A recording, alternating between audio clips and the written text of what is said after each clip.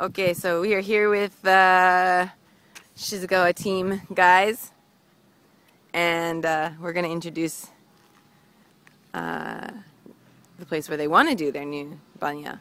Okay, 紹介してくれるあれがあの自分たちが今まで仕事してた、うんあの旧市場付近あの辺が私たちの地元のその仕事場だった場所、うん、うん、それが今満潮でああいうふうに海になってしまったうん、うん、うん。Yeah, yeah. そしてあそこが島みたいになってるとこが、うんその牡蠣牡蠣をその処理する剥いたりなんかして処理する場所だったんだけどあそこは今完全に海に持っていかれてしまって Right, 島になってしまった、うん、うん、うん。そしてこっちは今までその志津川のああの魚とかうん、そういうその海産物を取り扱ってた魚市場っていううん、大きなそのマーケットだったうん。それがもう、うん、津波で全部やられてしまった。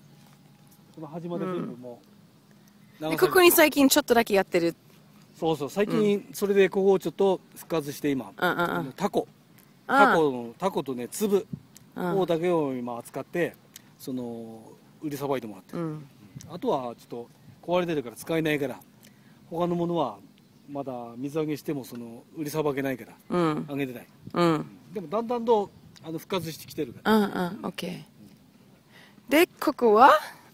ここはそのこの志津川の漁協のうん介護地っていうことで、うん。今までそのいろんなそのものを置いたりなんかしてたんだけどほとんど何にも使われてなかった、うん。それを今回そのモダ浜我々はモダ浜のその人たちがうん。共同っていうことでそのまあある一区画一一区画をうん。使わせてもらうことになったうん。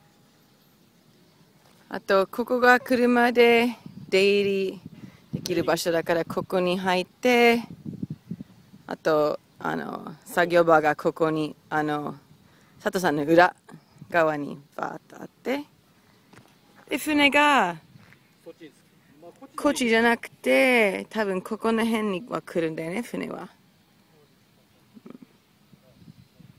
うん。OK。ありがとう。